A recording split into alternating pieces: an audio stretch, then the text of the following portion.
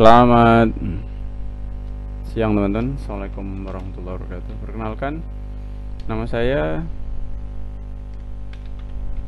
Ari Sujat Norwanto. NIM-nya 0418267729 Saya dari UT Jember. Sekarang saya pengen mengerjakan basis data 2 ya Untuk tugasnya. Kita sudah dapat file Praktikumnya ini dia Nah, kita juga sudah nginstal XAMPP nya Kita coba jalankan dulu. Kita coba start start yang terpenting MySQL ini ya. Oke, ini dia. Kita juga bisa jalankan localhost-nya.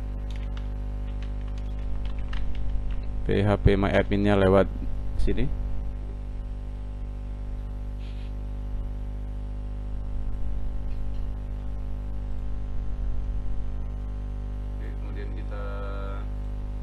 Jalankan CMD nya ini.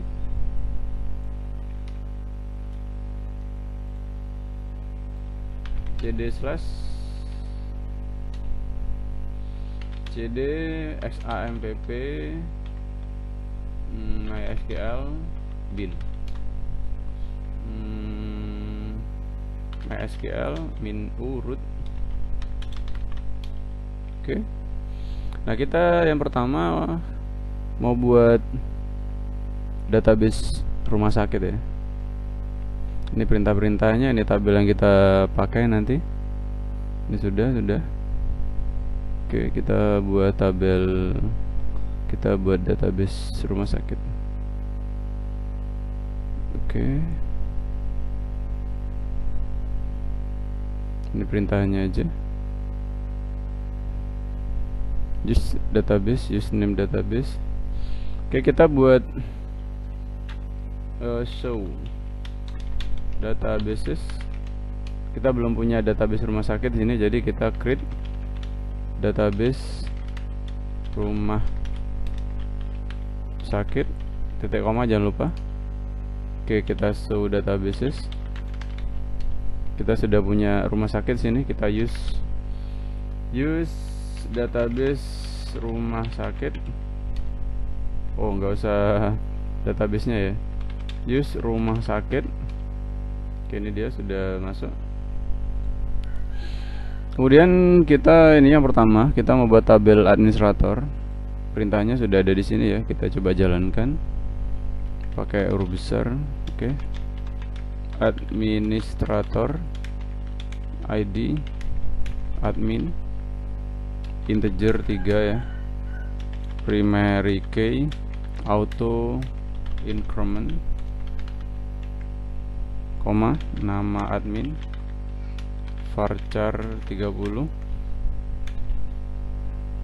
varchar 30 koma waktu jaga varchar 100 titik koma. Ini pakai petik enggak ini? Pakai petik kayaknya ya Waduh, kena hapus. sorry, sorry. Create create tabel administrator. Administrator. ID admin. Integer 3 primary key. Auto increment. Nama admin. Varchar 30 waktu satu jaga. Varchar 100 koma oke. Okay. enter. Uh, mungkin gak usah. Gak usah petik mungkin ya.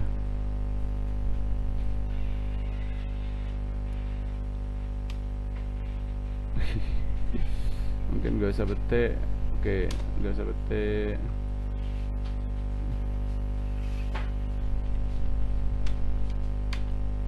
Okay. So tables. Oke, kita punya tabel administrator satu. Kita ini ya. Ini kok bisa di copy nggak nih?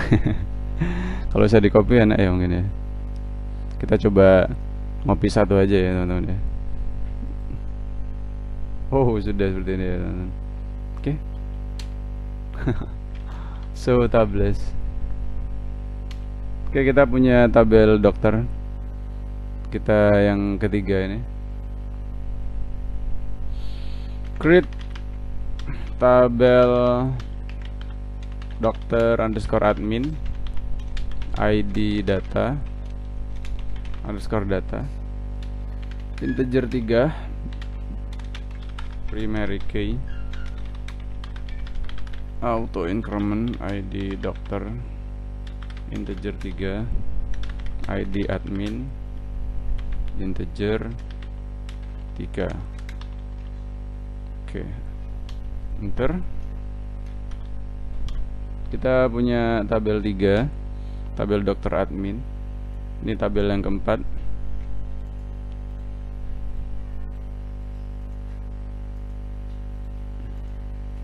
Copy. Ctrl V. Tidak bisa ya? Tadi kok moro-moro bisa ya? copy.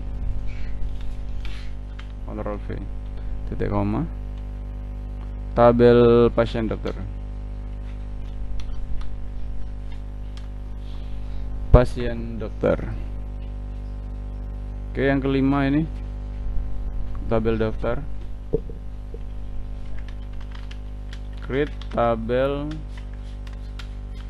daftar. ID daftar. Primary key auto increment ID pasien integer 3 ID admin integer 3 Oke tabelnya sudah ada admin, daftar, dokter, dokter admin, pasien. Oh tabel pasiennya mana ya? Tuh 2, 3, 4, 5, 6 Ada 6 ya? Tabel pasien Ini 5 yang di sini nih. Apa tabel pasien yang ada di sini nih? Nah ini ya Saya copy aja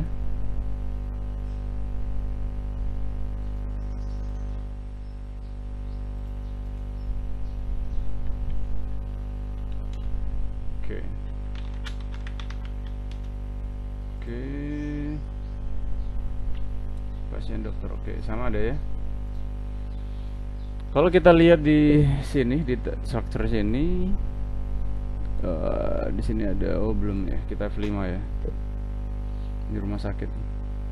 Nah, ini ya tabelnya ya. Tabelnya ada 6. Oke, sama. Kemudian kita relasi ini membuat relasi ini. tampilan tabel belum terrelasi ada di mana ya relation? Designer ini nah, biar nggak lama-lama di sini. Saya selesaikan dulu. Oke teman-teman akhirnya selesai. Dibantu istri saya ini. Tadi error banget susah banget. Oke kita lanjutin ya. Kita save save page. Namanya Ari sudah saya ganti. Tadi kalau mau ngapus mau ngapus relasinya ada di tabel ya ada di tabel oke